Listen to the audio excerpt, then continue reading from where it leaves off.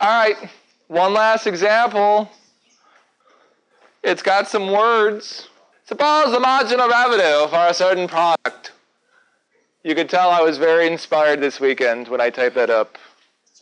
A certain product. What would you like the product to be today?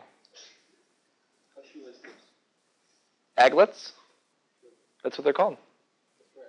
Yes. Wasn't that an extra credit? Yeah. The aglet, the little hard plastic piece at the end of a shoelace is called an aglet. Now you know. Ding, ding, ding. It's given by the function r prime of x is negative x. Da, da, da. And no revenue was made when no items were sold. Oh my gosh! Find the revenue, find the demand function. Oh, this is torture. All right, we know the derivative, r prime. How do we get the revenue function? Take the antiderivative. Very good. So part A, we're going to take the antiderivative of r prime of x. And I should write here r of x equals. So that means we'll have the antiderivative of negative x squared plus 5x plus 6 with respect to x. So for that first term, your constant would be a negative 1. The second term, you can pull out a 5. And technically 6 is really 6x to the 0. Then don't forget your plus c. Look how far we've come. How does that clean up? Plus 6x plus c?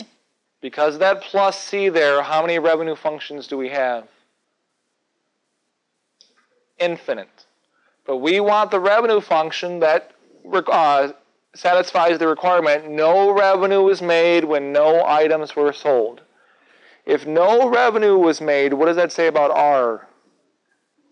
R is 0. And when no items were sold, what does that say about X? X is 0. So if we put in 0 in for R and 0 in for X, oh, helps if I listen to what I'm saying. That leaves one thing left over. What does that leave? C is 0. Yeah. Because you have 0 equals 0 plus C, so that means C equals 0. So for some of these problems, so instead of that C there, our real answer is negative 1 third x cubed. I forgot what I was saying. Plus 5 halves x squared plus 6x. That is our revenue function. Oh, that's what I was saying. Uh, for some of these, we're going to have some requirements. And that basically translates to we have to figure out what C is to satisfy that requirement. So how do we do part B? Find the demand function. Revenue is price times number sold. So that implies that price which is P equals the demand of the quantity. So that's our demand function, is the revenue divided by X. So if we do revenue divided by number sold, that gives you the price, which is demand. That's what I meant to say. So you've seen this formula before. We've also had price was supply.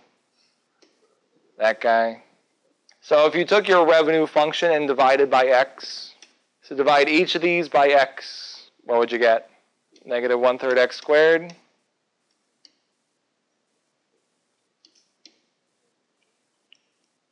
It is good stuff, Penn. Good job for writing that.